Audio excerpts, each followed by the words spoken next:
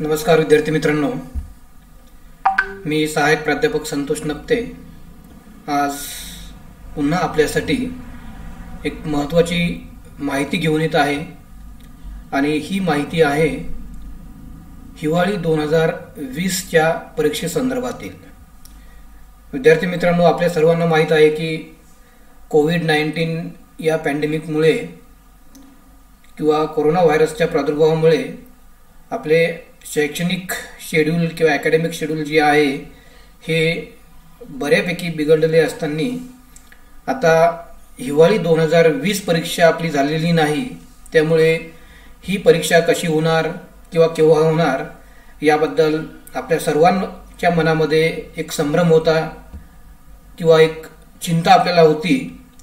तर काल आपल्या स्वामी रामानंद तीर्थ मराठवाडा विद्यापीठ नांदेड यांनी कालच्या तारखेला म्हणजे बावीस एक दोन हजार एकवीसला एक परिपत्रक काढलेले आहे. आणि हे परिपत्रक आपल्या हिवाळी दोन हजार वीसच्या परीक्षेसंदर्भातील आहे. तर या परिपत्रकाप्रमाणे जी काय आपली एक हिवाळी परीक्षा होणार आहे ही हिवाळी दोन हजार वीसची परीक्षा साधारणतः फेब्रुवारी महिन्यात होणार आहे. आणि ही पूर्ण परीक्षा बहुपर्यायी प्रश्न म्हणजेच एम सी क्यू पद्धतीने घेण्यात येणार आहे. आणि यामध्ये एक तीन मुद्दे महत्त्वाचे आहेत ते मी आपल्यास इथे आपल्याला थोडक्यात मी सांगणार आहे.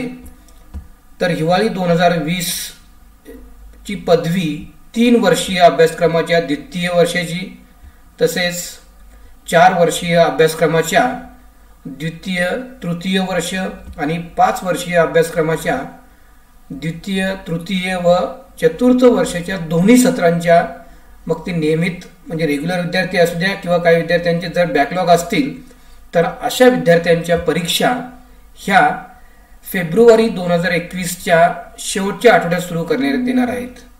तर हा पहिला मुद्दा विद्यार्थी मित्रांनो लक्षात घ्या तुम्ही की पदवी तीन वर्षे जर अभ्यासक्रम असेल तर या अभ्यासक्रमाच्या द्वितीय वर्षाच्या चार वर्षीय अभ्यासक्रम जर तो असेल तर त्या अभ्यासक्रमाच्या द्वितीय आणि तृतीय वर्षाच्या व पाच वर्षाचा जर तो अभ्यासक्रम असेल तर त्या अभ्यासक्रमाच्या द्वितीय तृतीय व चतुर्थ वर्षाच्या दोन्ही सत्रांच्या मग तो नियमित असू द्या किंवा बॅकलॉग असू द्या ह्या परीक्षा फेब्रुवारी दोन हजार एकवीसच्या शेवटच्या आठवड्यात सुरू करण्यात येणार आहेत.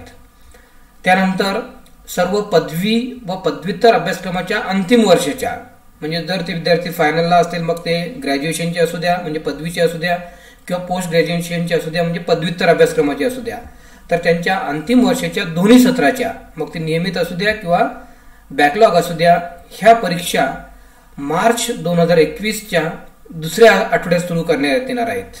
म्हणजे फायनल इयरच्या म्हणजेच अंतिम वर्षाच्या दोन्ही सत्राच्या नियमित आणि बॅकलॉग ह्या परीक्षा मार्च दोन हजार एकवीसच्या दुसऱ्या आठवड्यात सुरू होतील. आणि त्यानंतर महत्त्वाचा मुद्दा म्हणजे सर्व पदवी व पदव्युत्तर अभ्यासक्रमाच्या प्रथम वर्षाच्या.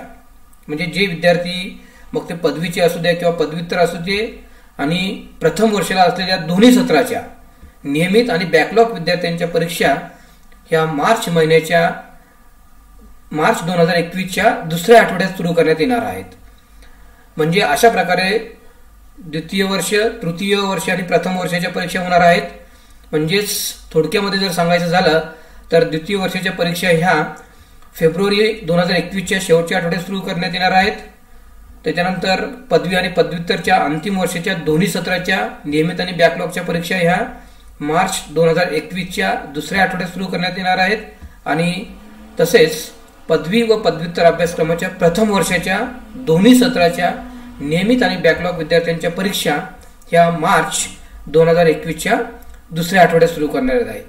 आणि या सर्व परीक्षांचे वेळापत्रक किंवा टाइम टेबल हे टप्प्याटप्प्याने आपल्या विद्यापीठाच्या वेबसाईटवर प्रकाशित करण्यात येणार आहेत. तर विद्यार्थी मित्रांनो आपल्या विद्यापीठाची वेबसाईट नेहमी तुम्ही बघत राहा जेणेकरून तुम्हाला टाइम टेबल किंवा वेळापत्रक प्रकाशित झाल्यानंतर लगेच तुम्हाला त्याची माहिती मिळेल. तर धन्यवाद विद्यार्थी मित्रांनो. हा व्हिडिओ बघा आणि आपल्या सर्व मित्रांना फॉरवर्ड करा जेणेकरून त्यांनाही या परीक्षेसंबंधी आणि परीक्षेच्या पद्धतीसंबंधी माहिती मिळेल. आणि जर आपण हे यूट्यूब चॅनल सबस्क्राईब केले नसतील तर यूट्यूब चॅनल सबस्क्राईब करा जेणेकरून जे पुढे व्हिडिओ मी अपलोड करेल त्याबद्दल आपल्याला नोटिफिकेशन्स मिळेल. थँक्यू